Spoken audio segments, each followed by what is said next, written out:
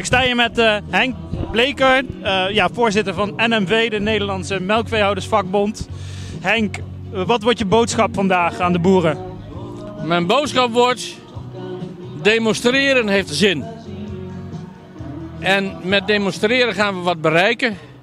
En de andere boodschap is: wat boeren en platteland wordt aangedaan nu met deze plannen, dat is echt volstrekt onredelijk en onterecht. En we hebben dus niet alleen uit eigen belang, maar ook uit het belang van het platteland de plicht om te demonstreren. Heb je als belangenbehartiger dan uh, laten verrassen? Nee, we hebben ons niet laten verrassen. We hebben gewacht tot de plannen er waren. En toen zijn we met z'n allen. En dat is natuurlijk prachtig hè. Dit is een initiatief dat wordt gedragen door LTO, door FDF, door de Nederlandse Melkveehoudersvakbond. Heel breed, eigenlijk alles wat er aan groene agrarische organisaties is, staat hier samen. En uh, we hebben ons niet laten verrassen, maar we laten nu wel zien wat het, uh, dat zo niet kan. Oké, okay, duidelijk, duidelijk. Um, ja, je gaat straks het podium op. Uh, ben je ook bang voor wat negatieve geluiden rondom jouw persoon of zal dat meevallen? Nou, ik loop hier al de hele ochtend op het terrein rond en er zijn heel wat mensen die willen met mij op de foto. En er is niemand die mij een klap verkocht heeft, dus ik, ik heb er alle vertrouwen in dat het goed gaat. U krijgt vooral steunbetuigingen. Ja, dat vind ik ook wel mooi. Maar het gaat er natuurlijk om dat, uh, ja, dat we met z'n allen wat bereiken. Kijk, ik vergelijk het, zal ik ook in, straks op het podium doen. Ik, ik heb best een interessante demonstratiecarrière achter de rug. Dit is deze. Ik heb in 2019 mocht ik spreken op de uh, grote demonstratie van 1 oktober. Ik heb meegelopen in de jaren 80 met de massale demonstraties tegen eh, de komst van kruisraketten naar Nederland. Half miljoen mensen in Den Haag. De minister-president die hen toesprak, Ruud Lubbers toen. En ik heb in 1974 meegelopen met een demonstratie in mijn eigen geboortedorp.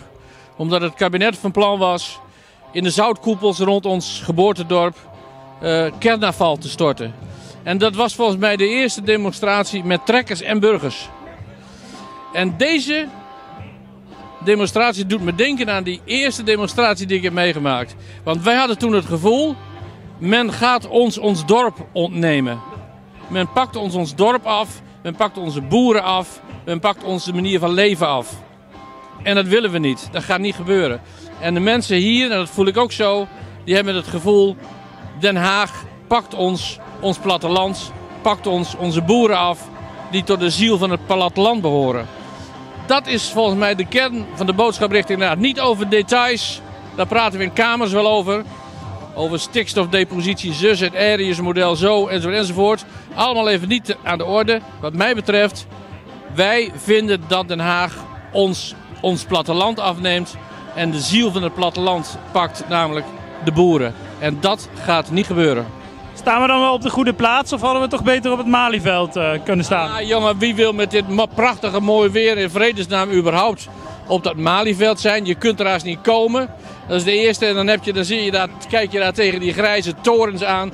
En hier zitten we op de rand van de Veluwe. Prachtig melkveebedrijf hier. Mooie natuur om ons heen. Uh, ja, dit is veel meer het, uh, het zwarte crossgevoel. Weet je wel? En dan moet je hier zijn. En dat is toch, je ziet ook heel veel mensen die helemaal geen boer zijn, die burger zijn. En die denken van, wat ze daarna nu met onze boeren en met ons van plan zijn, dat pikken we niet. Dus dit is de, de place to be, is true. Dit is, dit is de, de grootste demonstratie ooit, is true.